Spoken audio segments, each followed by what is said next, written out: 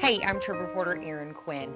My fellow reporter Wendy Gregg came in the newsroom the other day raving about a story she's working on a woman who collects Barbies. She has almost a thousand Barbies. And I said, my Enlight Quinn viewers have got to check this out. And when I got here, I found way more than Barbies. We probably have about uh, 500 porcelain dolls Oh my god. scattered throughout the house. You know, this house is so, it's almost, it's a lot of like nostalgia and it's also like an antique shop almost. What, what do people say when they walk in here? Oh, they just astonish. They, they say, I can't believe this. It's overwhelming. How do you walk? How do you uh, clean things? You know, we can walk through here at night and not have a light on. We're just used to it. We've lived here 51 years, and this is a collection of different things. You're not kidding.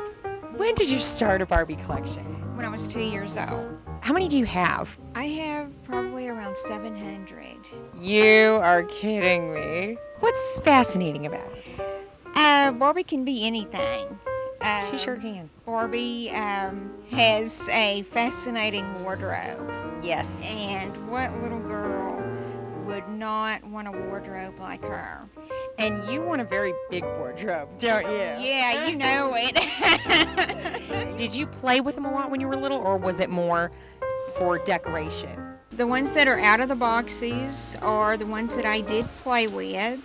However, um, all of them, they are in great condition. They are in They good are. condition. You don't have a lot of Ken dolls. What's wrong with Ken?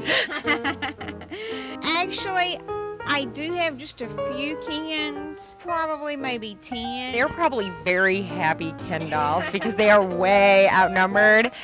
They have a lot of dating prospects. We do different little scenes. Like what kind of scenes?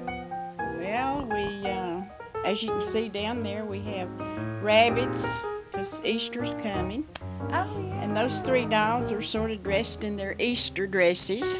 Do you ever feel just kind of like a big kid playing with dolls still and stuff?